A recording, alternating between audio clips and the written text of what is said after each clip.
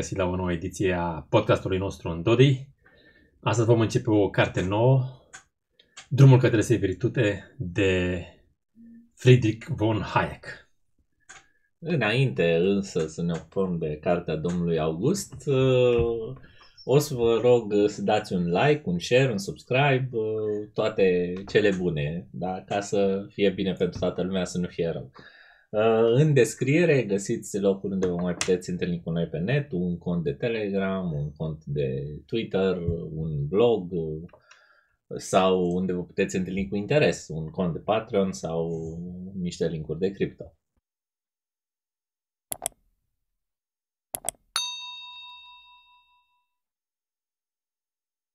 Să începem cu introducerea și după aceea cu cele două, trei prefațe pe care uh, cărțile și reeditările acestei cărți le-a avut de-a lungul timpului. Cartea a pornit de la un uh, eseu pe care Hayek l-a scris către directorul uh, școlii economice, De școlii de Londra. economie din, din Londra. Londra. Uh, Sir William Beveridge. Da. Ideea e, ideea uh, pleacă așa. Uh, Hayek uh, trăiește în Austria, o vreme își face un nume acolo, primește o invitație să predea la London School of Economics și vine în uh, Marea Britanie, nu mai știu dacă în 29 sau ceva de genul ăsta. Scria pe undeva pe aici. Nu, în uh, 31. Vine în, vine în Marea Britanie în 31 ca să predea patru cursuri despre teoria monetară. Mai târziu cursurile astea au fost publicate sub numele Prețurile și Producția. A luat Nobel, cred, te aminti și asta. El cu asta a luat Nobel. Pe asta a luat Nobelul? Da, Nu da, pe- pe... teoria ciclului. Pe astea sunt. Price Ah. and Production, Monetary Theory and Trade. Adică.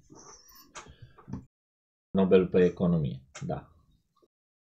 Și ideea e că el trăind în uh, Austria, fiind expus foarte mult timp la școala germană de gândire, văzând declinul imperiilor și felul în care se constituia socialismul și mai târziu uh, național-socialismul, în, uh, a- având contacte multe în uh, Austria, respectiv în Germania, a rămas foarte șocat așa atunci când a ajuns, mă rog, șocat întâi și după aceea a alarmat din ce în ce, atunci când a ajuns în uh, Anglia și a descoperit că, uh, așa cum descoperim și noi uh, astăzi când mergem în vest, că Imperiul Britanic era doar cu vreo 10 ani în urmă față de gândirea continentală vis-a-vis de, vis-a-vis de adopția socialismului. Și încercarea lui a fost uh, la început să tragă un uh, semnal de alarmă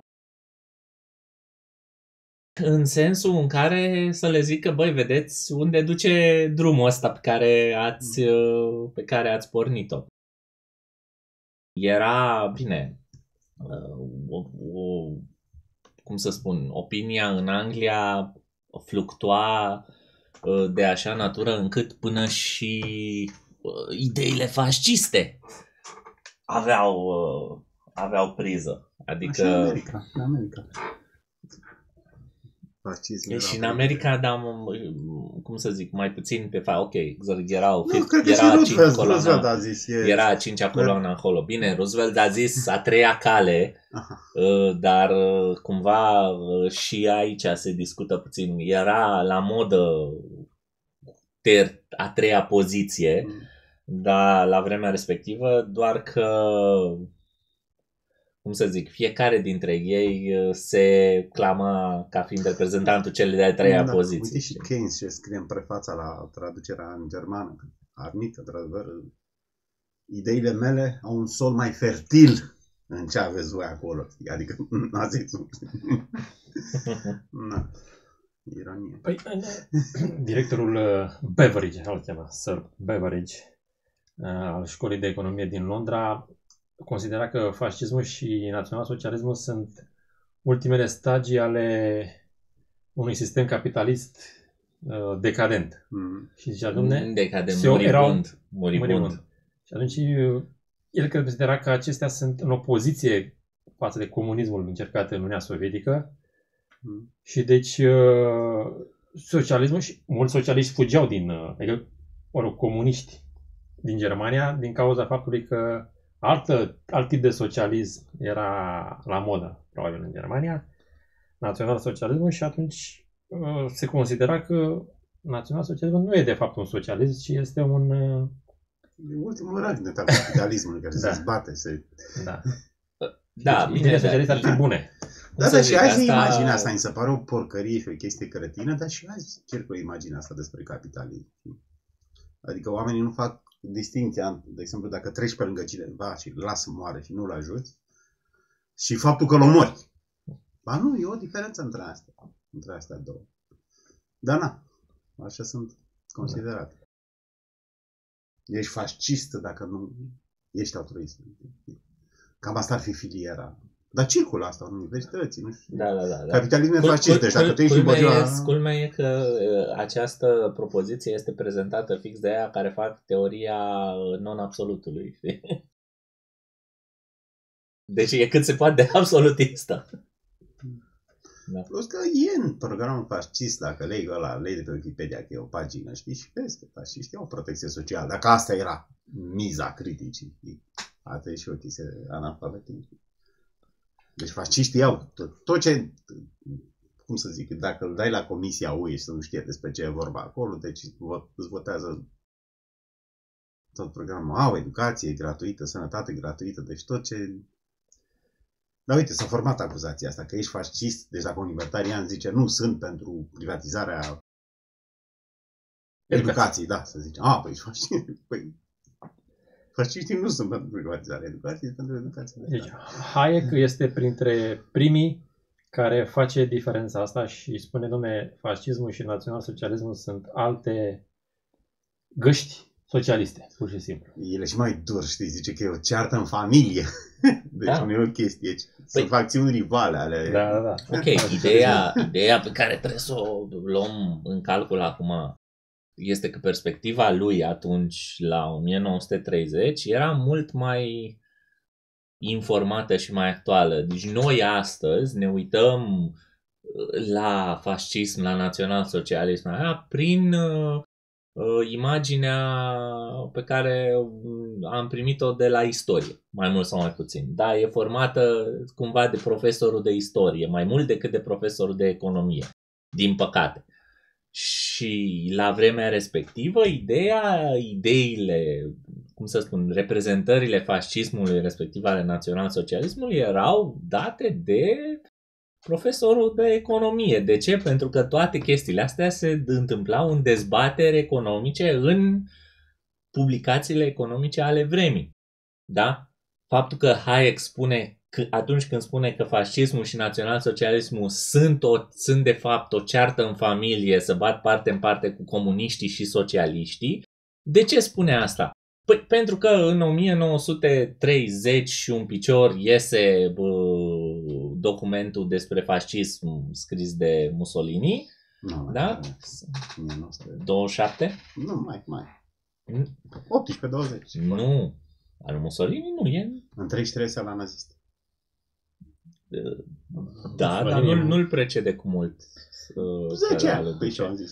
Hai să vedem. Vă 10 ani. Mă rog, Mă rog, ideea era Nu că era contează. recent uh, în care fascismul italian se vrea o reformă a societății, o reformă, nu o respingere a socialismului, ci o reformă și național-socialismul la fel, pleacă de pe bă, cadavru muribund al uh, socialismului democrat al Germaniei, Germania, Republica de la Weimar, al cărui președinte a fost ales uh, cancelarul cu mustață, era o democrație socială, cum este și astăzi în Germania. Și uh, tot așa, nu a reprezentat o întoarcere către ce însemna capitalism. Capitalism însemna laissez-faire. Acum, dacă voi puteți să-l puneți pe Hitler cu laissez-faire în aceeași uh, po- propoziție, nu știu, aveți o Da, imaginație asta mult e- mai mare. Asta e teza stângii contemporane, știi? Ți-am zis, nu fac distinție între a omorâ pe cineva și a lăsa pe cineva să moară. Știi? Asta, dincolo de faptul că săracii o duc mai bine decât capitalist. Hai să o zicem.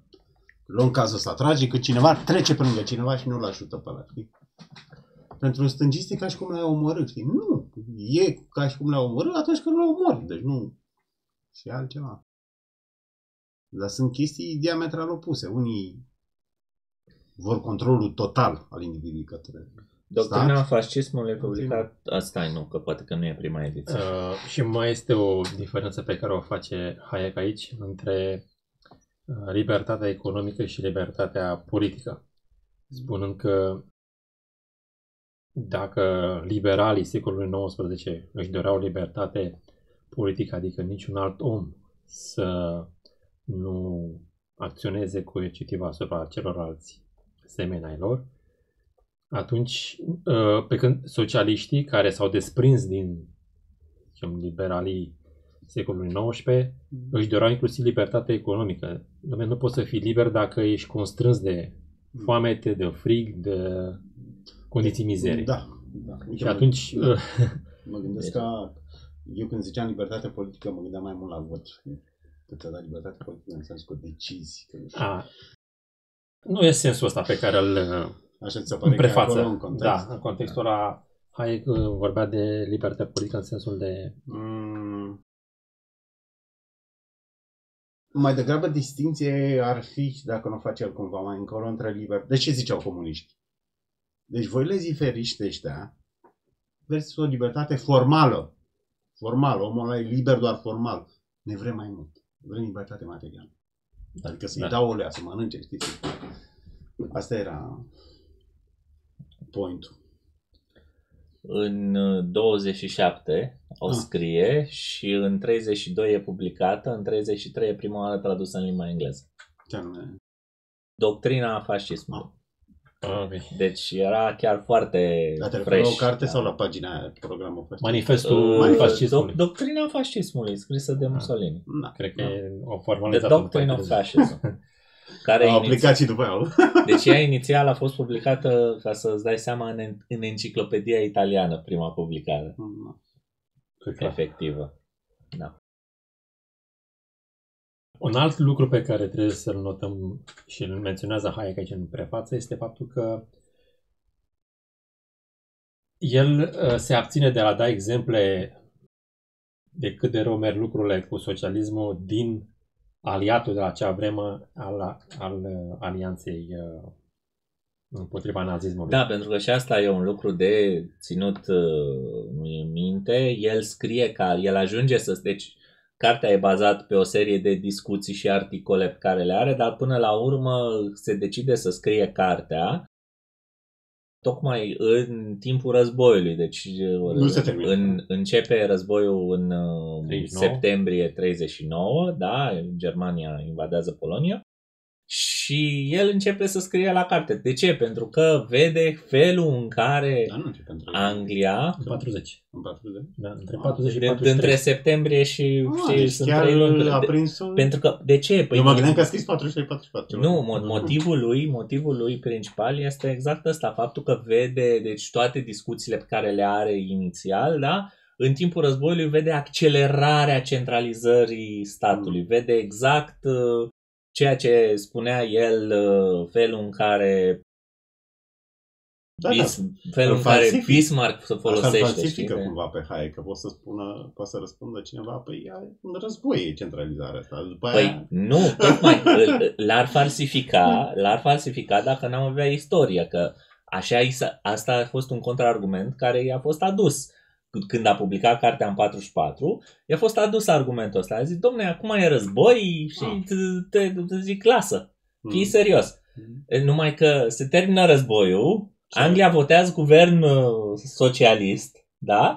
Și apucă să și permanentizează, guvernul socialist permanentizează absolut toate măsurile pe care, despre care Hayek A, așa scria asta e dreptate că bună. le vor permanentiza și după pace. Adică el prevede că se întâmplă chestia asta, ce să vezi, fix se întâmplă. Mhm. Da, adică era indiferent. uh, Da. Ce mi se pare interesant este că tot așa, în di- discuția care A precede... apărut să și înainte de război, asta ar putea fi valoarea lui. Deci socialismul ia având de la Da, 1870. da, da. Deci are câteva, prinde câteva decenii bune, înainte de să înceapă conflicte. Da, da, da. Uh, Erau în aer ideile socialiste. Deci Einstein era socialist. pe, Toată lumea conti- era. pe E continent. ca și cum ai purta, nu știu ce, pe continent. Asta, asta e și lucru că el când vine în Anglia găsește că ei sunt un pic în urmă. Ah. Față de, cum sunt adică, americanii azi față loc- de noi. Deci locul- nostalgicii aia de la Hollywood comuniști, deci față de noi sunt 50 de ani. da. Unul dintre lucrurile care mi se par foarte interesante din perspectiva noastră de astăzi este obsesia pe care, care se desfășura la vremea respectivă, da? deci în anii 30, legată de planificare. Deci cumva cuvântul zilei era peste tot, nu contează dacă erai, el își, și de, își și dedică cartea socialiștilor din toate partidele și practic nu contează, nu conta atunci dacă erai uh, part, un, un partid de stânga, un partid de dreapta, conservator sau nu, ce să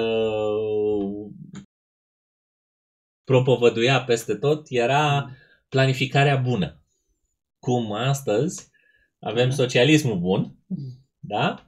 Atunci era planificarea bună. E o chestie de, din asta, de genul în care tu iei o, un, un concept și el vezi că, adică ai dovezi că s-a dus dracului totul, gen Rusia se întâmplaseră deja niște foamete, se confruntaseră deja cu niște foamete, se confruntaseră cu inepțiile din anii 30 referitor la pogromuri și politizarea tuturor instituțiilor. Plus că uh, el spune că duce, duce, duce la totalitarism, pentru că altfel nu se poate implementa. Deci asta ar fi, pe lângă sărăcie și condiții mizere, totalitarismul. Să zicem, uh, Păi nu vreau, side effect-ul nu vreau, nu vreau. ideilor socialiste. Da. E, și În Germania cumva, e o deci discuție. ai, ai conceptul, nu, da, atunci discutăm strict de planificare. Ai Mhm. conceptul, da, și cumva zici, da, dar ăia n-au făcut bine.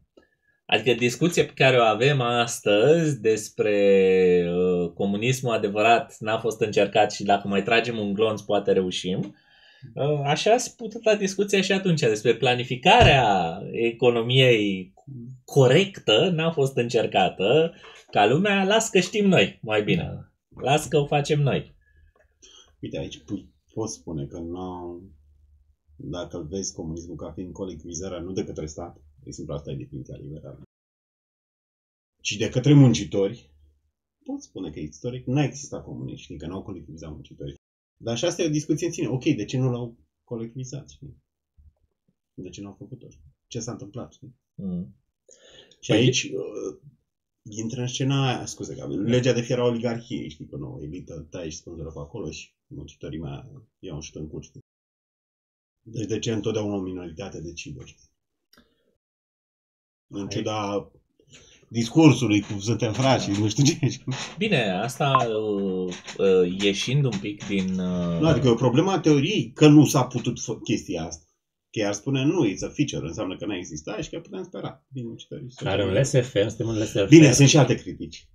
Noi zicem, ok, mai sunt și alte critici. Calcul economic, stimulente, pierderea de libertate. Chiar dacă le iau muncitorii și eu nu vreau, să zicem, sunt patron, nu- tot e rău. Deci nu contează că muncitorii mea nu mai mă bate securitatea, mă bat muncitorii, știi? Nu e... E irrelevant. Nu, ea spune că... Scuze, vrei tu să... Dar vreau să zic că în sistemul SFR, muncitorii ar putea foarte frumos să cumpere întreprinderea respectivă, fabrica respectivă de la patron și să o managerieze cum își doresc. Păi, în răspunsul critică marxistă la asta e că patronul oricum i-a jefuit de profit. Ba nu, că îți Și vine ei n-ar Friedman, avea de unde să... îți venea David Friedman cu cifre. Că au bani. Știu. Că au bani. Argumentul nu e asta. Argumentul și pe care... A, nu, apare și la el. E asta legat de preferință de timp, știi?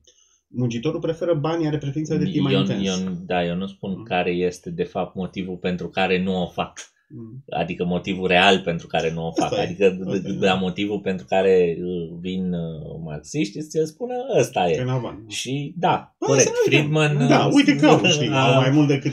Friedman Plus a că- de...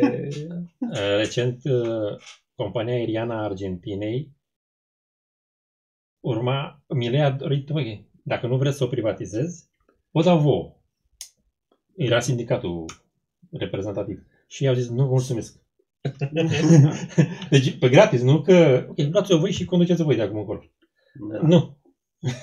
Uite, tot de la o idee a lui Rothbard, știi, membul ăsta să le dai... Dar uite, se pare că nu vor. De ce nu vor? Pentru Dar că oare de ce nu vor? Păi E știi de greu. ce nu vor? E greu. Pentru că nu rămân fără obiectul muncii. Da? Din uh, sindicalist trebuie să devină patron. Ah, da. Da. Nu vor să Și, riște. și, nu Vor numai, câștiga mai mult. și nu numai de asta, dar știu și ei că o instituție condusă democratic nu poate să ajungă decât la faliment. Plus că Îți ei- dai seama că ei sindicaliști nu o să poată să înceapă să dea ordine. Nu, trebuie să țină ședințe, să facă, să dragă și atunci ar avea sub numele lor scris falimentul efectiv al companiei. Mă, poate să fie și prostie, pur și simplu. Pentru că dacă ei și dacă o vinzi la fiare vechi, tot câștigi, câștigi tu ca sindicalist, știi? Sau Păi câștigi, da, dar nu câștigi mai atât de ești, vinic. dar nu mai ești sindicalist, știi? Nu, păi Adică asta se, zic, se pare că acolo au dat peste niște Iliescu, nu, care n-au vrut să fie bogați, au vrut să rămână E, socialiști. Nu vor să fie bogați. Nu vor să fie bogați, doar că nu, nu realizează. Eu zic că realizau foarte bine că în două, trei luni nu mai aveau bani de sub de undeva. Ei vreau să fie de stat, chiar dacă merg De prost. unde știi? și- Poate de privat, privatizând-o, na. Mâna invizibilă. Poți să o și ridice, știi? Să... Păi da, dar nu sunt ei aia cu skillurile Nu, ei antreprenoriale. știau, Nu știm. Descoperim asta. Păi, Da. A, zici că în două luni vedeam că... eu, eu cred că ei au făcut un pariu antreprenorial și au văzut uh, capacitățile. ei știau de cât de prost merge întreprinderea respectivă. Păi Ăla Recent, merge prost că era de stat, știi? Da, merge. Păi da, dar nu s-ar fi schimbat nimic structural în... în Dacă o privatizezi, se Dacă o privatizezi, da, pentru că bagă cineva bani, dar dacă o dai, dacă o dai pe gratis muncitorilor de acolo și lași același director, ce crezi că o să se schimbe? din, Nu, Dacă da. nu, sch- nu schimbi nimic, nu schimbi cultură. Păi asta e, Aleg ce, alt e, director. asta e ce a zis uh, Gabi. muncitorii Da, și dar ideea e că nu sindicaliștii. știm. Gândește-te la patronii noștri de după... Păi ei n-au fost înainte patroni, că au trăit în comunism, știi? Da. Sau mă, furau niște șaibe de la șantier, dar ăla nu era, hai să zicem, antreprenoriat, știi? Era, Ba, nu era era mai mult. eroism, nu era, Era mai hai să mult. zicem, nu era fur, că statul român nu era legitim, dar hai să zicem. Și au învățat să fie, au învățat să fie patron, știi? Unii. Alții le-au vândut la Destul piață. de mulți. Nu, ăștia, nu ăștia care își făceau în chior sau care nu știu. știi. Atunci că era grupul alea, că erau paretero. sau- Nu mai știu cine povestea o poveste din asta cu o tipă care i s-a dat într-un oraș și s-a dat nu știu ce magazin. Nu știu, Nu știu. voi Nu nu știu știți, da, nu mai știu. Povestea cineva că imediat după Revoluție i-a fost un magazin de desfacere care a fost dat pe mâna, deci a dat, ia, e al tău.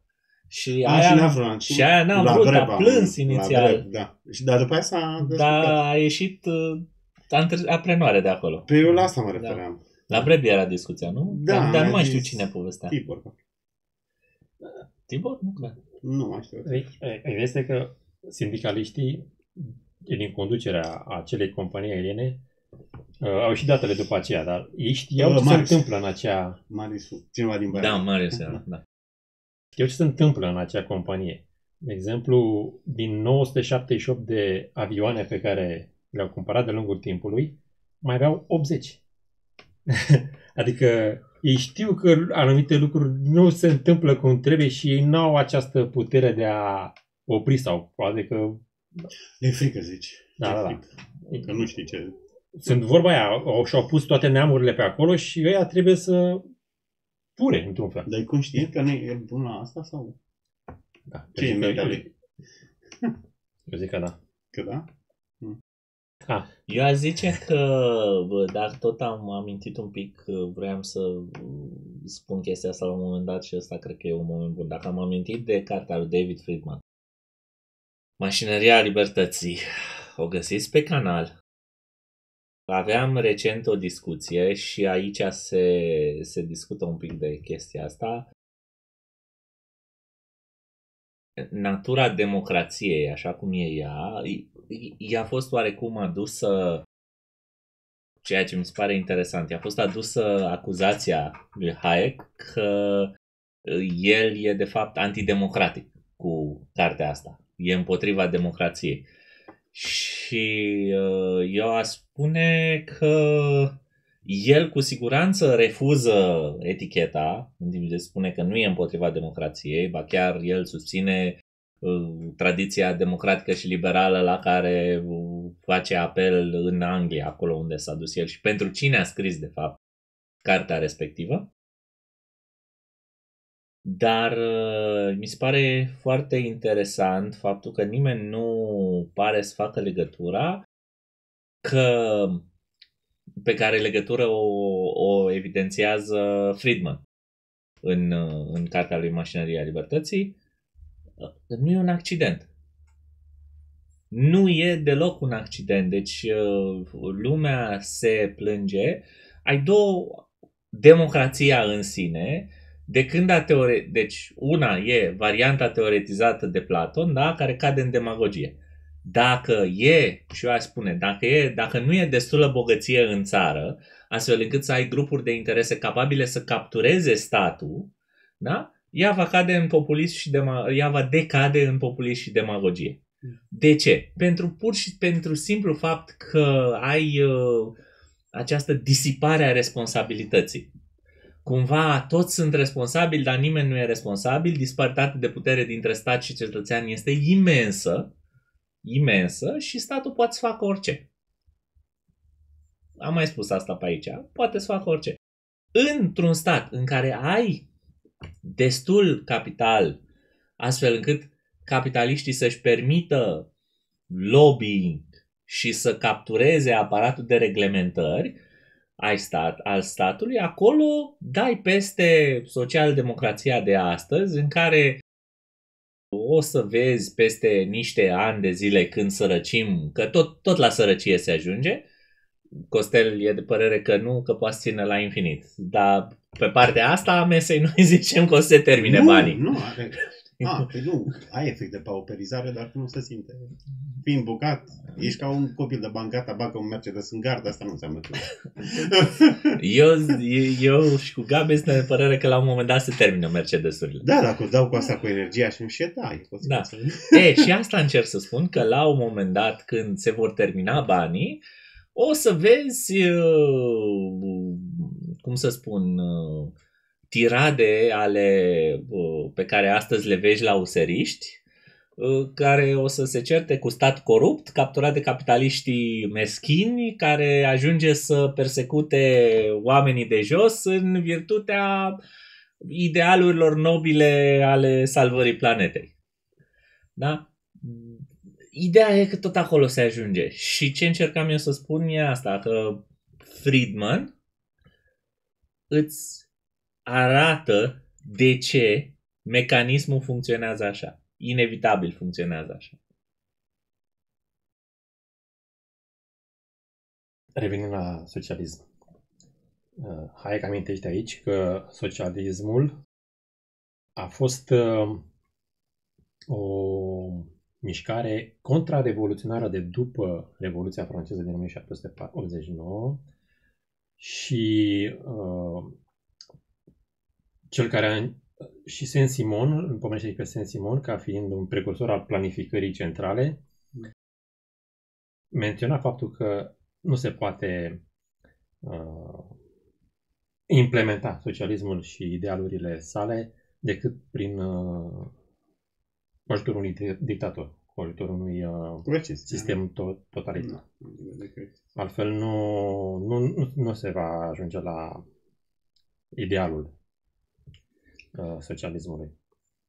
De-abia din- în 1848 cu uh, mișcarea aceea democratică și Revoluția de atunci a apărut acest uh, zicem, social-democrația și socialismul care s-ar putea atinge prin uh, metode democratice și a fost prezent în Germania foarte uh, puternic.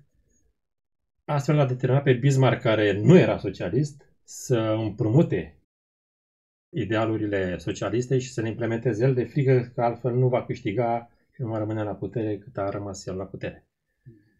Asta era povar. Da. Nu, dar ideea e că cele, așa cum ai formulată tu, avem aia revoluționară și aia social-democrată. Nu, ai coerciție în ambele. Eu cred că Sen Simon știe el și știa. Adică...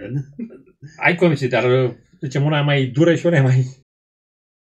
Bine, din, punct, din punctul ăsta Mai de moale. vedere și Hayek la un moment dat spune, nu mai știu dacă într-o introducere sau în primul capitol, spune că um, socialismul a dat greș în uh, statele de pe continent, tocmai pentru că implementatorii socialismului erau prea îndrăgostiți de democrație. Da, exact, da, da, da, zice da. Plecând în Rusia, unde... Și Poate pe fi când, ceva. atu- acolo când au dat într-un loc în care democrația era încă ceva complet străin, acolo s-au putut spune pe... Pe treabă. Da. Nu. Bine, poți să-i dai contraexemplu Germanii naziste, că uite, majoritatea a vrut. Și acum, dincolo de fapte empiric, tind să cred că au, țineau cu Hitler nemți. Într-un anumit moment au obținut. Da, Majoritatea l-a susținut. Păi, Și- din, din punctul ăsta de vedere, da... și asta era e- democratic, adică el reprezenta Da. Nu, preferințele- asta, asta e un consens. Dacă Hitler uh, dispărea de pe scenă în 1936, până astăzi era, uh, ar fi fost pus uh, în același panteon cu Roosevelt. poate Deci, posibil, da. A, că i-a ținut pe bolșevici? Nu, Sau ce? că a uh, scos Germania la lumină. A scos Germania De din, după din dezastru dezastru De după prima zi mondială. de recesiune. O ducea mai bine. în 36 era cu totul altă țară față de... Da, bine, lucrurile care nu și-au dat, Bine, care în nu ciuda își lui dădeau Aristiciu liberal. seama, în ciuda, ce? În ciuda lui Aristiciu liberal. Uh, nu, Mai avem și chestii liberale pe acolo. Nu, ideea e că e ușor să generezi, uite-te și la planul Marshall, știi? e ușor să generezi creștere economică când pleci de la o țară care e complet distrusă, da, Germania era după epoca Weimar, marca nu mai conta absolut nimic, da, am asat... Dar nu, argumentul contrafactual e că nu e. Creșterea a fost mai mică decât dacă ai fi avut piață liberă. știi? Înțelegi? Da, Ok, înțeleg că ce română spui. îți vine cu cifre, uite că a crescut cu nu știu Înțeleg ce spui, Da, da, dar da. a fost și dublă dacă nu, sau triplă. Da, bine, Da. pentru asta trebuie să ai puțină înțelegere teoretică. Da, îi pomenește aici și pe oamenii, inclusiv și oamenii de bună credință din Germania, dar și inclusiv pe cei ca, pe capitaliștii care aveau fabrici și uzine acolo, care erau îndrăgostiți de ideile socialiste, promovate de național-socialism, și au mers. Dar cred că Pe mâna- activiștii, cred că așa e și azi, cred că activiștii... Deci nu sunt toți. Cred că ai Nu câțiva se care putea dau... întâmpla Hai așa. să luăm, hai să luăm, nu știu, reciclarea, știi, azi. Ai câțiva care sunt vocali, nu știu, Zuckerberg sau nu știu ce, și la se aliniază, știi, deci nu... Nu cred eu că nu știu ce firmă e. Se aliniază, știi, pur și simplu. Au fost Sunt probabil- câțiva granzi care chiar cred, deci sunt convins Da, da. da. că mor generațiile viitoare dacă Da. nu, Uh, nu știu ce, dopul. Eu zic că și în cercurile astea de Nici mari măcar ei- capitaliști nu cred. A, germani, înseamnă că le e frică la tot, pur și simplu. Da, nu, dar e, sunt niște direcții care au fost trasate de undeva și merg, inerția e mare. Nu eu zic că e Și, Deci, uite, de exemplu, uh, PSG. Asta poți, dacă suspensi, asta e criteriul, dar nu l-aveam la dispoziție, știi? Să suspensi Da, amenințare cu taxare, amenințare cu să nu mai fie niciun... Și atunci, vezi, șeful de la Google mai e așa înfierbântat să țină seminarii și ce sau își bagă pe ceva. Nu, ce-ți vă dacă nu, nu mă interesează. Mm. E și ceva adevărat, că na. Bine, Hayek uh, Publicul spune uh, într-una dintre prefețele sale că observa uh, că e foarte important să realizezi faptul că atunci când ai uh, impietăți din astea, impuneri, pe toate palierele, ele schimbă inclusiv structura societății și gândirea societății. Adică era o memă din asta uh, libertariană, dar care mi se pare că e tragic de adevărată, care spunea în felul următor, că dacă școala ar fi obligatorie de la șase luni, în decurs de două generații, nimeni nu ar mai crede că copiii poate să învețe să meargă singuri. Asta e uh, efectul, cum să spun, impunerea, uh, efectul impunerii asupra noilor generații este foarte mare și el uh, dă un citat aici dintr-un uh, raport uh, făcut în timpul războiului nu, despre... asta înseamnă că ea chiar crede atunci de Zuckerberg. Despre... Uh... Și e destul de plauzibil. Mă, e posibil Chiar să că- creadă, știi, Da. dar cum să zic, e vina lui. Adică hai să, Nu, hai să, că nu hai s-a să zicem, informat, nu, nu da, s-a- hai să, păi, a, tocmai asta spun. Zis că Hai și să un om zicem meu- că pe omul obișnuit îl mai scuzi, știi că are treabă, trebuie să Mm. muncească, să pună, Și să pună Zuckerberg mâncare pe, nas, pe masă. Da. Zuckerberg Are are, mai mult are timp. mult timp la dispoziție. știi? Dacă îi urmărești postările, chiar vezi, are mult timp la dispoziție, cel puțin în ultimii ani de zile. Apropo de gluma asta, nu știu, am văzut un headline în The Economist sau în Forbes, nu mai știu. Zuckerberg a intrat în faza libertariană. Mișto, da. Dar care e? Dar Zis nu, a- nu știu de la ce a venit. Da. Am văzut și eu, era... Da. O fi dat vreo declarație, ceva. O Ah, fi cum zis- ne-au constrâns în timp pandemiei sau mă gândesc ceva de genul ăsta. Da, nu știu. Și a, uite, s-a trezit. N-ar fi rău. Eu, eu nu cred. Deci eu dacă cred că sunt- mai durează. E Asta va adevărat, fi e adevărat victoria- că putem, putem să sperăm că îl invidiază pe Musk și Da. Care nu e complet libertarian, dar e bine. e cum pe drum, e pe Este. drum. Dă Musk, share din... din- Musk, din- se, Musk se trezește încet, încet, uh, e- după părerea mea prea încet, dar se trezește încet, încet din 2016 încoace. Mhm. Adică tot, Da. se tot mută spre... Mhm. Ar fi ceva, știți, să prins câțiva din ăștia granzii. Um, Da, chiar cred că ăsta e răspuns. O pandemie a fost uh, și în anii 30 în America, pe care Hayek o menționează aici, și anume ideile socialiste au s-au răspândit cu viteză uh, cu viteza unui virus vira, uh, viral uh, menționează aici, inclusiv a dus la crearea unui așa numit National Planning Board în America, care au studiat uh, modelele economice și succesele înregistrate în statele cu care au portat război în al doilea război mondial, și anume Germania, Italia, Japonia și după aceea cu Rusia. Război rece, după cel Da, de-al doilea război mondial. uh, da, asta apropo de, de uh, glumele pe care le, mă rog, de fapt nu sunt glume, dar apropo de uh, ce mai zicem noi pe aici câteodată când vorbim despre Roosevelt, care e privit în continuare ca fiind cel mai bun președinte al Americii, la masa asta e privit ca fiind uh, primul demon dintre, dintre alții. Nu știu, poate că Obama ar fi al doilea pe listă, dar uh, de ce? Pentru că Unii mai subtile ar spune și Lincoln. da, unii, da, unii mai, unii mai din Alabama. Uh, Știi cum era chestia aia? Unii mai informați ar spune că începe cu Revoluția franceză, știi? De unde vine? Da. Ok, cred că socialismul, apropo de ce zisă, scuze, de ce zisă Gabi, socialismul a început de la primele triburi. Dacă luăm mari cărturari, mari gânditori, sunt socialiști. Platon, Republica, zici, chestie totalitară acolo, chiar dacă n-ai socialismul, nu știu, în forma leftismului din anii 60 sau în forma marxismului. Dar dacă definești, nu știu, socialismul ca fiind colectivizarea mijloacelor de producție, a fost întotdeauna. Îi aveai Cu noi. datorie față de stat la naștere, față de polis la vremea respectivă. Dar e Liberalismul a interesant, fost o e chestie... interesant că Platon, așa socialist cât era, totuși întrevede un pic uh, virtutea uh, proprietății private. Adică uh, atunci când polisul era condus de regele filozof, aia era varianta cea mai bună pentru el, știi? Deci cumva când el avea proprietate peste toate, Mm. unul singur, cu drept de decizie, aia e varianta cea mai bună. Acum dacă el e deștept, e și mai bine. Știi? Da, aia zici că e tot colectiv, e, știi? A, că ar fi mai bună la pope decât alte comunisme. Da, da. În prefața, că, din ediți, în prefața cărții din 1956, ediției din 1956, American Edition, Hayek menționează faptul că tipul ăsta de socialism, hot socialism, pe cum îl numește el, al, și anume al naționalizării mijloacelor de producție, nu mai era așa la modă, Stai dar că a vine apărut Simion. welfare, uh, welfare state și, să zicem, socialismul soft, de după cel de-al doilea război mondial.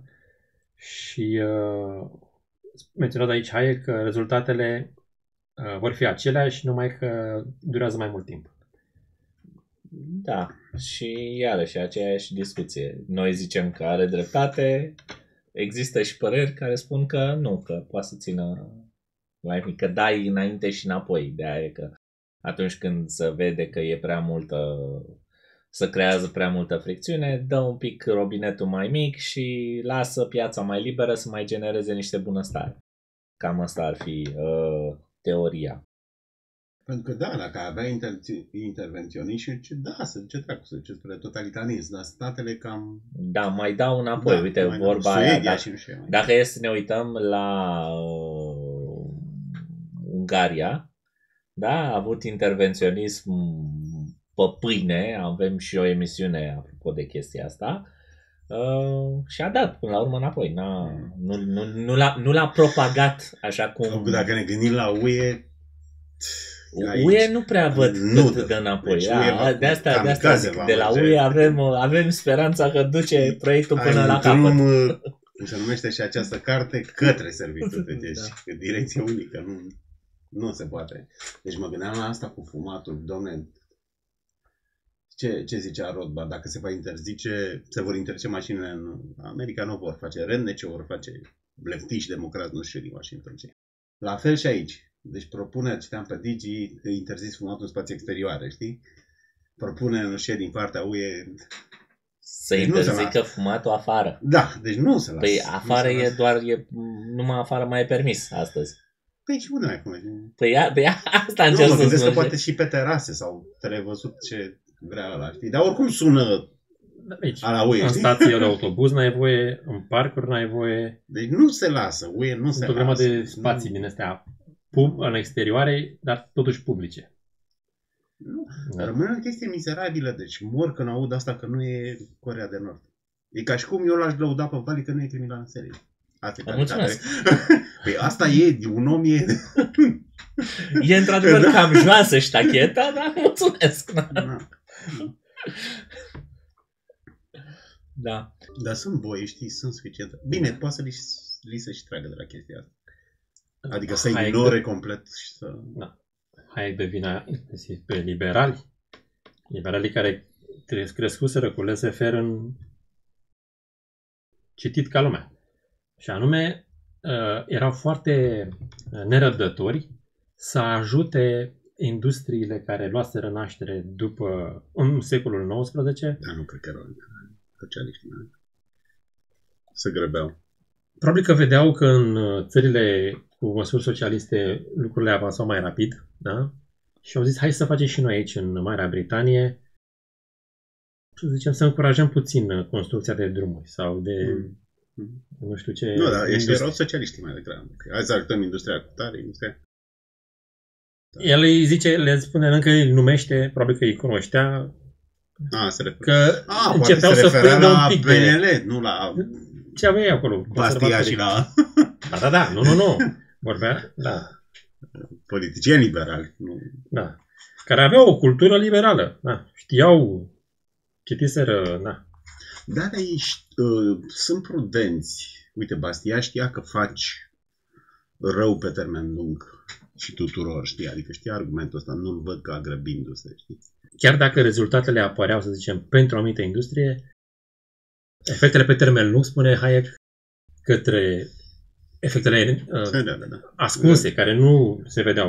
Eu zic că Acum- socialiștii nu aveau răbdare. Socialiștii, comuniștii, deci după Revoluția Industrială, crescuse puțin nivelul de trai, dacă dăm noi un bobărnac să mergem mai repede. Că parcă nu mergem așa de repede. Da. Nu, nu aveau răbdare.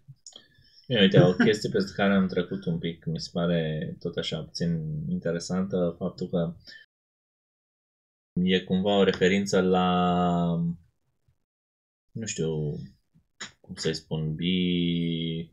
nu. Uh, Ba da, să zicem, bigo...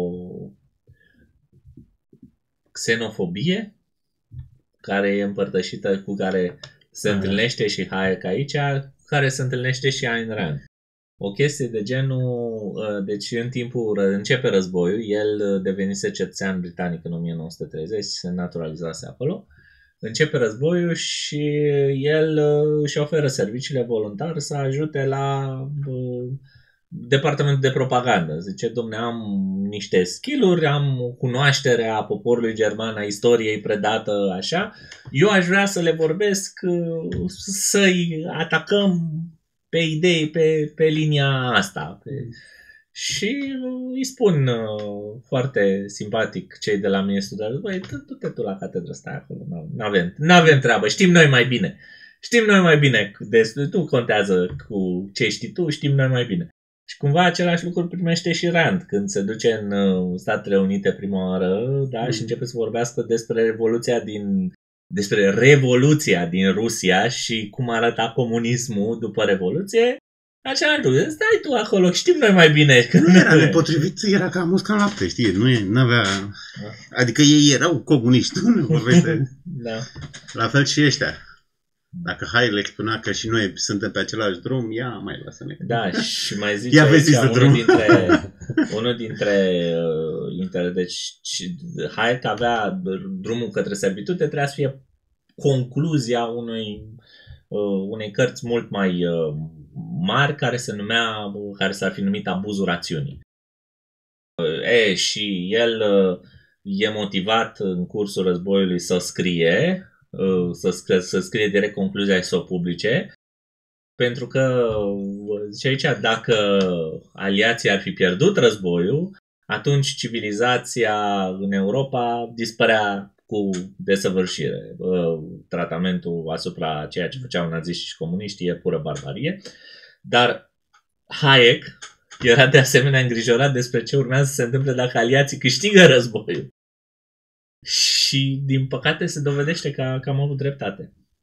De chiar ce se întâmplă în Man from the High Castle? Unde erau rușii acolo? Uh, pierduseră, nu. nu mai existau. Ah, pierduseră. Pierduseră, normal. De, nu, nu, dar nu mai era nimeni pe acolo nu să mai încurce... Existau. Nu, în The High Castle, partea vestică a Rusiei era... Uh, part, nu, scuze partea estică a Rusiei era japonezilor, partea vestică era împărțit la Ural. Și America ce era? Și America era la fel, dar America era și zona de mijloc. America era împărțită, partea de coasta de vest era japonezilor, coasta de est era sub administrație A, adică germană. Da, da. Mm. Și mijlocul era cumva zonă de conflict. Servitude. Da. da. Tot în prefața ediției americane, se scuză Hayek pentru faptul că nu a adaptat uh, limbajul uh, cărții la noile sensuri pe care le căpătați anumite cuvinte în America anilor 50. Și mai ales termenul liberal. Termenul liberal însemn, însemna cu totul altceva în America acelor ani, ca și acum. Pe când uh, în Marea Britanie și în Europa Termenul de liberal este ceea ce înțelegem și noi, românii, prin termen Piața da, da. Nu știu ce mai înțelegem noi înțelegem, românii încă, prin termen. Nu, încă e, încă n-au reușit și, să... Uh, PNL-ul n-a reușit să, crezi? Nu că nu e atât PNL-ul cât alte locuri. Uite, PSD-ul nu, nu și-ar spune niciodată liberal. PSD-ul, da, deci- da, nu și-ar spune. Nu, de a zice nu, dar sensul de liberal. Socialiștii nu și-ar spune liberali în Europa. Da. Uite, e... întreb un prieten și profesorul la ce e? E liberal? Ce e liberal de stânga, știi? Deci, uh, New Left-ul la noi nu o să spună sunt socialist. Puțin o să găsești. Sunt liberal. De ce? Pentru că e atitudinea asta la noi, la noi New Left-ul este liberal de centru-dreapta. nu, cam Modern. Ah. De centru-dreapta Mă gândeam la mediu academic, știi? Liberal de stânga. Asta e, asta e eticheta. De, mm. La ca și în America, știi? Nu sunt socialist. Păi nu, în America, noi... adevărații liberali se descriu, zice Hayek, ca conservatori. Ceea ce no. uh, a zis că o mai au dat-o cu unul ca în perete rău de tot. Mă, depinde, știi, depinde. depinde da. că, uite, pentru America, cel puțin, are, are sens, da? Conservatorismul presupune prezervarea Foarte status liberală. quo-ului, America având o istorie liberală de la Da. fondare, Mm. ai putea spune, da, noi suntem aici conservatori că vrem să conservăm liberalismul. Da. Dar, dar problema, problema care apare este că conservat, că în America a existat și Partidul Conservator o vreme în, uh, între opțiunile americanilor, da? înainte de partidul, dinainte ca Partidul Republican al lui Lincoln să prindă uh, aripi, a existat Partidul Conservator, care Partidul Conservator era conservator pe stil vechi, pe stil Europa. european conservator. Adică de asta e o, o nebunie totală. Și de ce? Că, uite, și acum avem liberal, da? înseamnă stat mic. În America, conservatorii vor stat mic. Mă rog, Uh, da. Da. Cumva au, Mm. au ajuns să fie legate de... Hai că în 50 nu se regea, deci pur și simplu pentru el conservator era unul care dorea să prezerve status quo-ul, deci privilegiile și cine mai avea pe acolo. Păi, Doar ce ți-am nu, explicat da, că da, are admite, sens. admite că în Ai, nu- America, că în America. Nu, problema lui cu conservatorismul e că conflictul între tu te poate să facem cândva la de ce nu sunt conservator al lui. Că e clasic. Și argumentul cheie e că există tradiții neoliberale. De-aia nu sunt conservatori. Dar îmi place ce spune uh, acolo despre conservatori. Uh, eu nu am în față. Tu ai uh, citatul în față? Ce? De la cu conservatorii. A, cu naționalismul și îl critică pe n-am, Simeon. Nu acolo. la ea? Nu, uh, e, nu, e ceva de genul în care el critică, spune conservatorismul nu o să fie niciodată uh, deschis către uh, acapar, către preluarea de noi de membri din din, E ceva valo- de acolo, din da. valoarea dintre, dintre tineri. Nu nu are priză la tineri Mhm. decât spune el în cazurile de disperare maximă.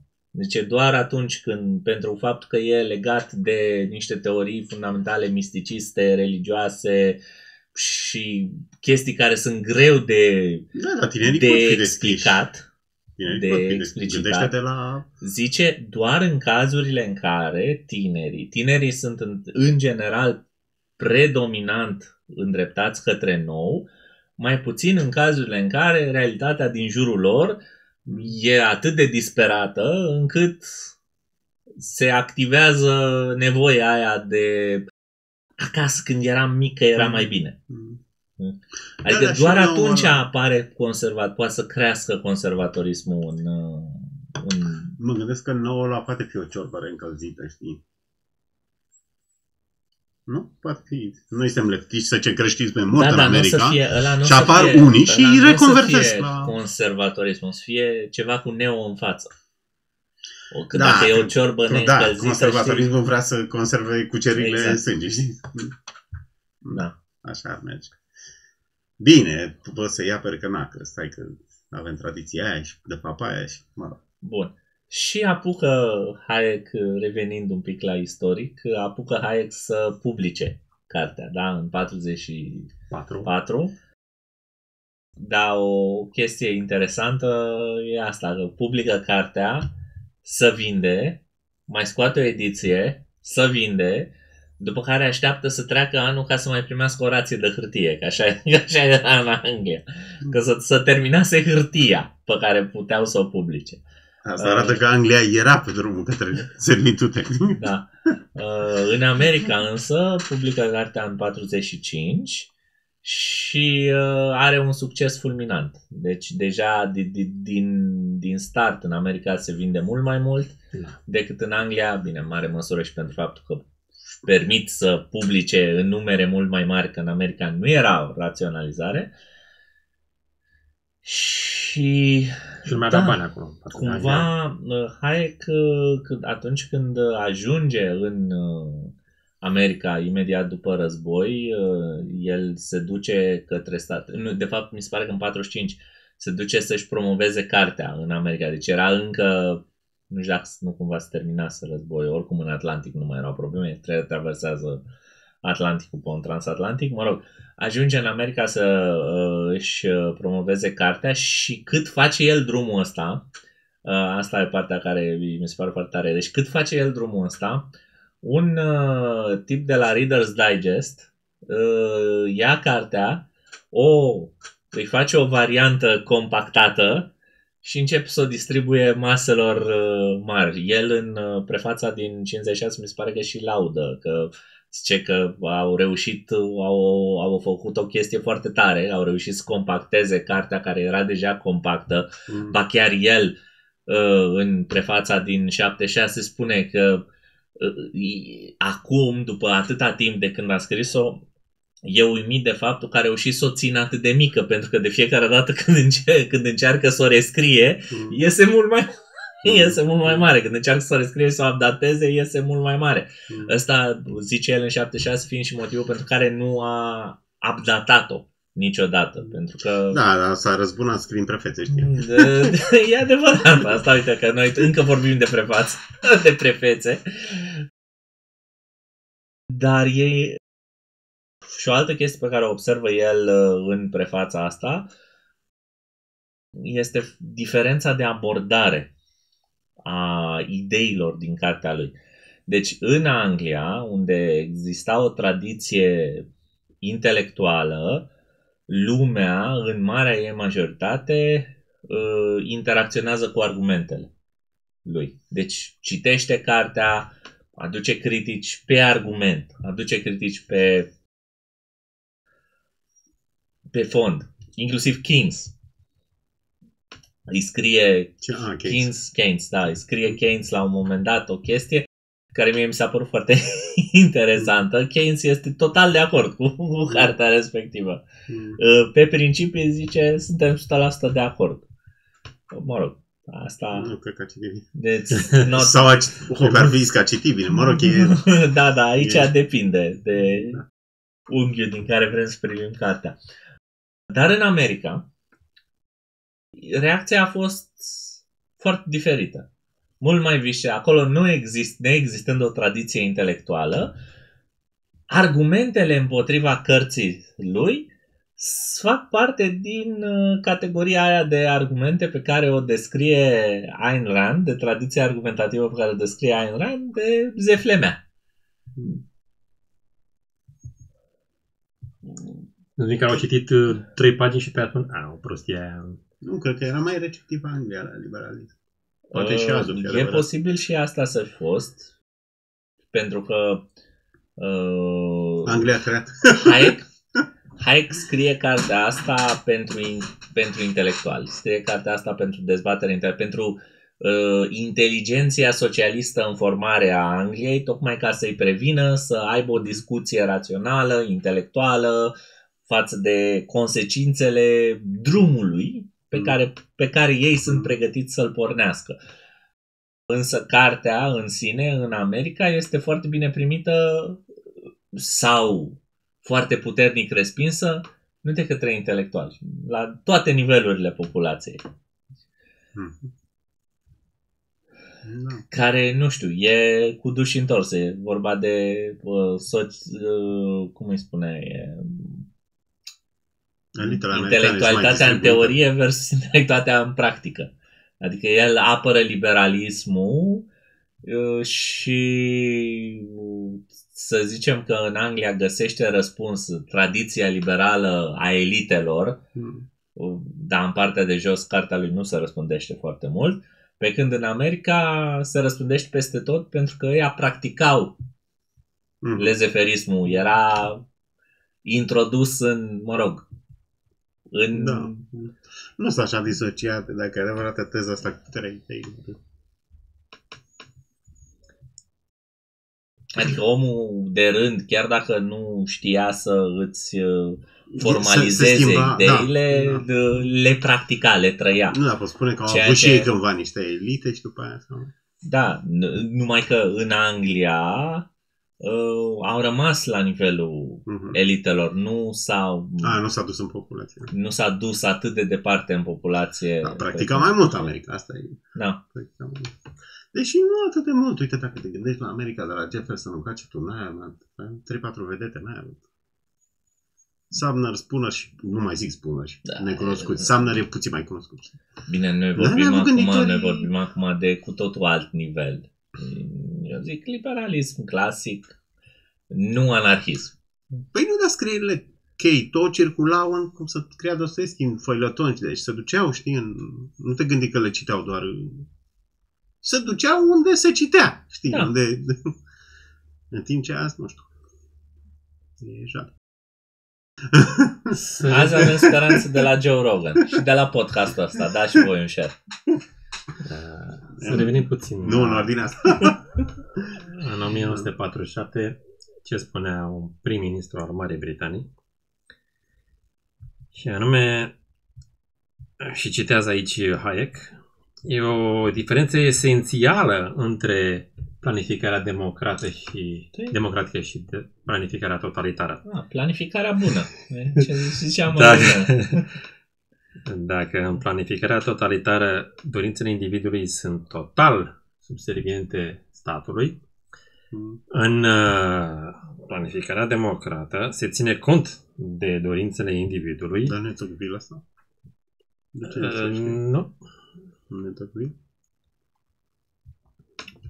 nu, e vorba despre un discurs al primului ministru din... Uh, E bă, Halifax care spune el. El Probabil era că prim-ministru, parafrazează da. ceea Ok. ce a priceput aha, și el scuze, din... zi, zi, Așa. Bine, se, se scrie în introducerea asta, scuze că te întrerup două secunde, scrie în introducerea asta că uh, în mare parte citatele pe care le dă Hayek sunt destul de inexacte pentru că le dă din memorie, Ah, dar uh, e notat în carte acolo unde sunt făcute. Oricum nu, a- uh, nu e notat serios acolo unde chiar deturnează sensul, dar în mare parte n-a deturnat sensul Mhm. citatului și atunci... Cred că a citat-o greșit și pe aia lui Lord Acton. Puterea corupe, puterea absolută corupă în mod absolut. Da. Și spune, un guvern democrat își face planificarea economică într-o manieră în care să ofere, să mențină un maxim posibil al uh, libertății individului. Da, Deci, adică lasă-ne pe noi că avem grijă de tine și avem grijă să rămâi liber. Dar lasă-ne pe noi să decidem unde se termină libertatea ta. dacă posibil, în momentul ăsta este doar să te miști tu de aici și până la ușă din Așa apartament și că, că înapoi. afară n-ai voie că, de exemplu, tușește bunica, Mm. Asta este. acolo se termină. Așa planificăm. Nu, dar noi n-am ajuns încă la... Și aia explică multe lucruri, distinția între libertate și avere sau satisfacerea nevoilor. Care mi se pare fundamental. Și o întâlnim peste tot, inclusiv cu asta, cu carantina. Poți spune că libertatea era să te elibereze de boală, știi?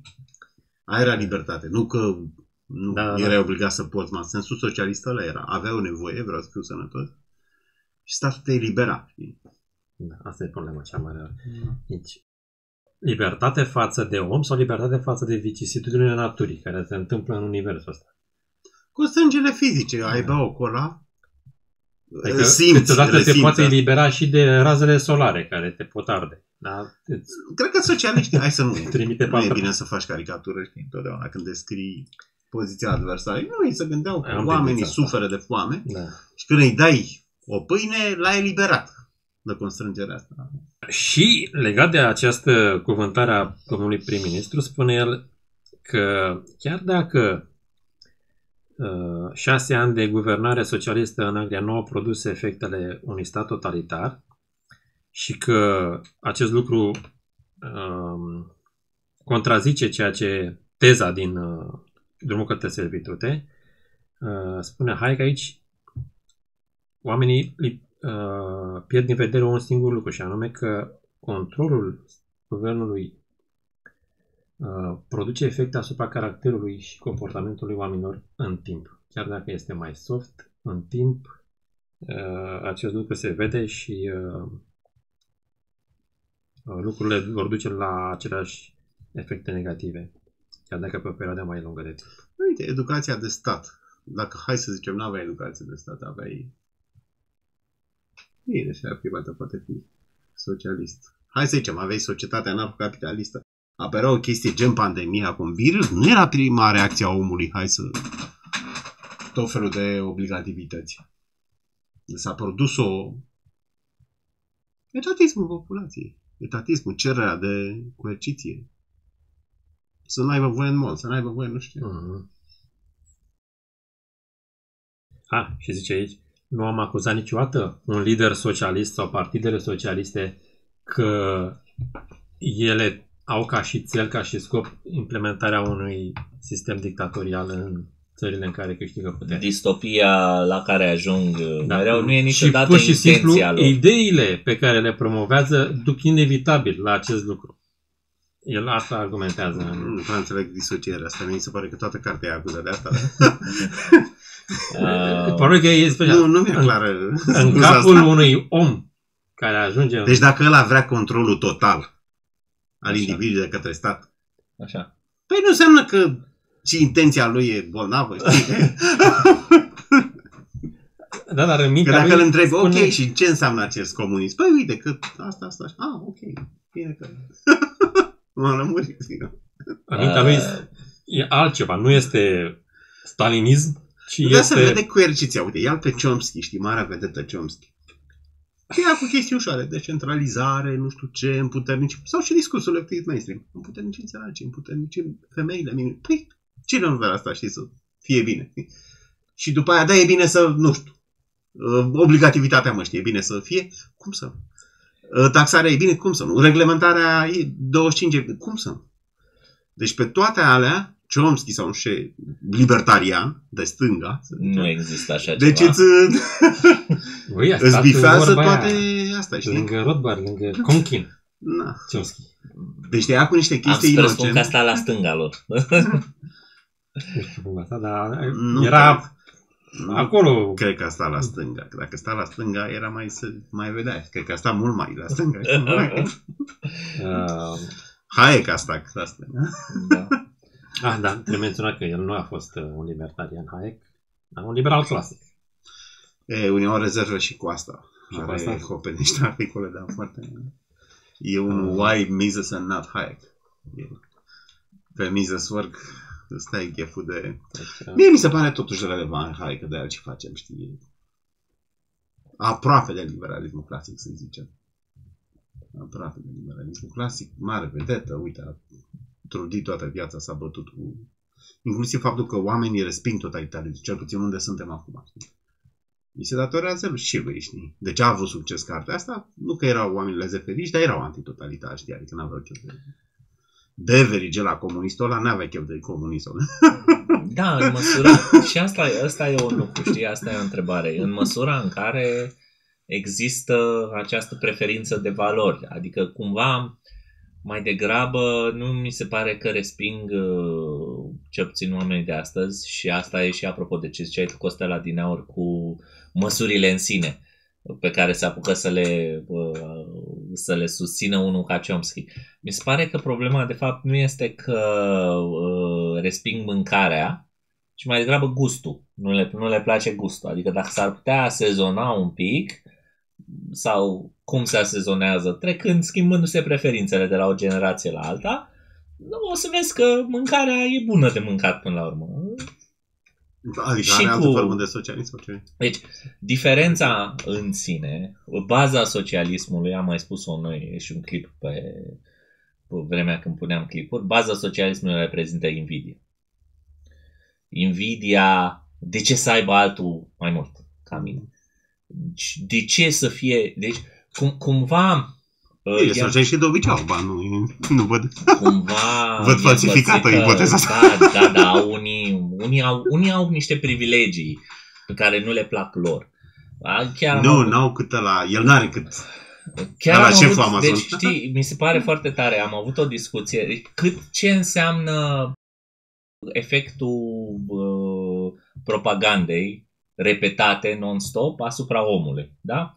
În școală, atunci când uh, profesorul pedepsește pe toată lumea pentru o boroboață făcută de cineva și pedepsește toată clasa, nu-l interesează cine a făcut ce a făcut, îi pedepsește pe toți la fel. În școală noi știm că chestia asta era nedreaptă. Și Da. da. armată se practică. Același om, același om 20 de ani mai târziu, domne, să-i taxeze pe toți! Deci, deci îi, îi spune o chestie din asta de uh, are o tiradă că nu știu nu e bine că companiile fac și dreg și de fapt mută responsabilitate pe consumatori și statul ar trebui să intervină pentru că statul se ocupă așa de bine de educație, de medicină, de cercetare, de uh, sănătate, de, de toate astea, da? De, prez, de conservaționism, de păduri, de exploatarea resurselor rare, de mentenanță, de absolut orice. Da, Statul da. s-a, s-a ocupat așa de bine și mai știm că s-a ocupat și mai bine atunci când a gestionat producția țării, și a- așa. De stat s-a ocupat, a fost administrator extraordinar. Domne, stat trebuie să intre cu bocancii și să reglementeze dur astfel încât consumatorii să simtă consecințele și să educe, să educe pe cetățeni. Și atunci când îi spui, zic, bă, sper ca statul să taxeze la sânge fix activitatea aia care îți place ție cel mai mult să o faci, astfel încât să simți că Da, să simți că educația. educația. Da? El, îți ră- el uh, îți răspunde și spune atâta vreme cât îi taxează pe toți la fel, Și pe mine, da. e bine. Da. E ca ăla din... Astea sunt efectele unei educații, nu unei educații, unei indoctrinări a socialismului din ziua de astăzi. Da, mai În bine. școală recunoști că chestia asta e nedreaptă, după 20 de ani de socialism, zici să-i fută pe toți. Da. Ce să fie ăla liber? Da. Invidie, frate. Ideea este că Este, da. E... dacă bărtim așa de mult în... Dacă bărtim mult timp în idei socialiste, după aia când vine un uh, Hitler 2.0, mi se pare foarte deplasat. O să fie un... Da, Nu o să poată. Poate numele Gheorghe... Păi ce crezi că Hitler spune alte chestii? Da, da, da, exact. Toți... Ia discursul lui Hitler. Tă- tă- Domnul, Deci- domnule, deci- Hitler, De, deja da, cam aceleași idei Deci sunt. tu, absolvent de Harvard, ia și vezi ce zicea Hitler companiști. Tu ești, să zicem, un tânăr antisistem, hai să luăm un old school, să vedem.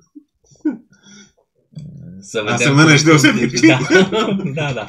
Bine, a și fost... Uh, uh, era pe YouTube.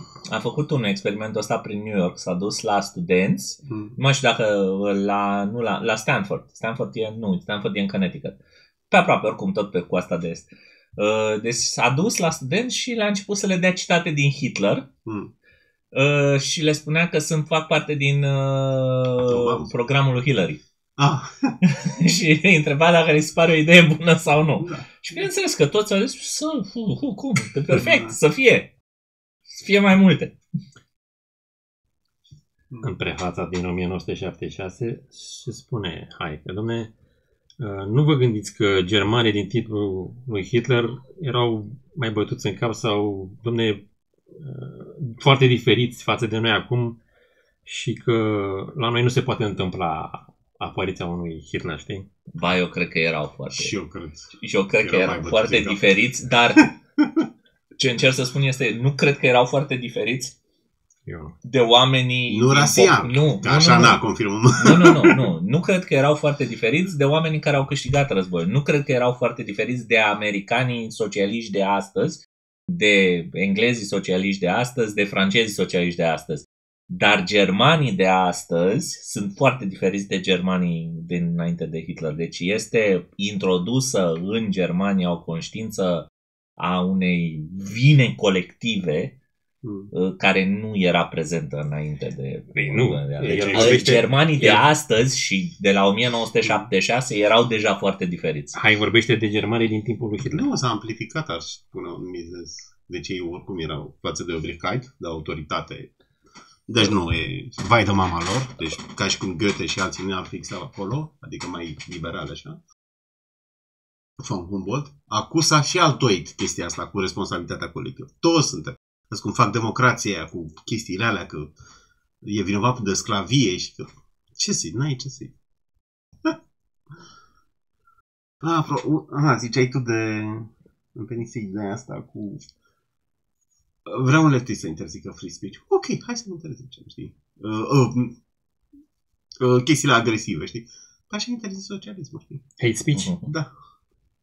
Înțelegi? Ok, hai să interzicem și asta. Să fie la taxat, să fie tot felul de chestii de astea. Păi da, nu, cum să fie, știi? Aici pierzi, aici îl pierzi pe ăsta. Ce, cum să fie? Păi, dar taxarea e bună, e Da. preț pe care îl plătim pentru civilizație. Adică, Da. Cum să spui așa ceva? Păi da, nu vreau să fiu furat. E, Nu, asta ține de, strate- Exagerezi. de strategia asta de a forța. Domnule, vreau să venituri egale. Ok, ciolacule. Cât, cât e? Ok, hai să împărțim. Egal, să fie egal. Știi de ce? Pentru că ei profită de inegalitate, știi? Toți NG-ști ăștia, toți mediul academic că își trag chestii mai. Pentru că dacă mă împărți egal și contracte cu statul și tot, ce dracu mai câștigă nimeni. Chiar o să spună, păi nu, că nu sunt extremist, vreau o chestie moderată, flexibilă, să fie bine. Da, Pă, foarte rar uh, și asta apropo, de ce spuneam că socialismul este despre invidie și invidia vine mână în mână cu lăcomia de obicei, uh, foarte rar o să vezi socialistul să zică da mă dau eu de la mine primul, ca să fac un exemplu. Nu răspunsul Foarte e că rar n-ajunge. spre deloc. Pardon, Nu, că- de indiferent că n-ajunge, n-ajunge. indiferent că n-ajunge că argumentul în sine este că oricum n-ajunge. Argumentul economic e că dacă iei toată bogăția și te-a pus-o în parți la toată lumea, tot n-ajunge. Egalitatea nu... A, și chiar dacă ar fi mult, nu poate să spună. Nu, E, e exact, puțin, asta e. prea Deci puțin. tot argumentul ăla, nu că salariul CEO, și argumentul de bază al socialiștilor de, uh, pentru redistribuție în interiorul unei companii, da? bazat pe faptul că ăla fură profitul, zice nu, să facem cap la CEO și restul să se redistribuie la toți ăia. Așa, și în loc de 100 de dolari pe săptămână o să aibă 105. Cam asta e ideea. Dacă tu iei uh, salariile de la director și de la toți Că și nu faci sunt pe mari, toți egal. Cred că Că nici nu- nu știe salariul CEO-ului, știi? Ăla are 7000 de dolari, deci nu te gândi că Da. are miliarde. E, nu există și, pe, și cu două cifre. Știi? Ăla poate e mai patron. Nu, nu, nu, nu. Pentru CEO depinde de companie. Mă rog, ideea e Știi? chiar dacă distribuie, ăsta Argument- argumentul liberal. Nu te alegi Argumentul cum în sine, da, e faptul că salariul poate să crească până la limita productivității marginale. Da? Asta e argumentul economic. Dacă ăla aduce produs, poate să aibă salariul de 5 Ăla are miliarde. ceva ce da. nu ai tu, asta e. Păi Da. ăla face, uh, cum să zic, să fii vânzător, ai un pool mult mai mare de resurse, să crești profitul cu nu știu cât, sunt câțiva care știu asta, deci mulți nu știu. Și nici măcar. Și asta, asta e argumentul uh, economic. Să crești profitul cu nu știu cât, ok, tu vei fi plătit doar o parte a profitului ăla cre- Da. ăluia crescut și nu vei fi plătit. Infimă, deci nu. Nu, știi, dacă, dacă tu ceri mai mult decât crești profitul, o să fii... Sau La dacă revedere. ești așa bun, nu stai CEO, trebuie să Da. spui și asta. Să faci Și asta firmă e și... Atunci treci pe profitul nesimțit. Bun. Hai să trecem și la carte, că am vorbit destul de prefață. De Nu, că am pe- atins, am atins. Ah. A, să începem, da. da. Păi nu știu, mai era ceva? Ce mai era? Uh, în prefață am mai găsit uh, Păi da, o, o notă pe care uh, nu mi-am uh, mi-am găsit, uh, să zicem, fereastra să o spun și anume că hai că acum vede că toate partidele pe categoriile din societate sunt uh, just In- all a bunch of socialists. Infestate de, da, Deci, infestate așa. de socialism. Așa. Da. Păi și ce, nu e așa?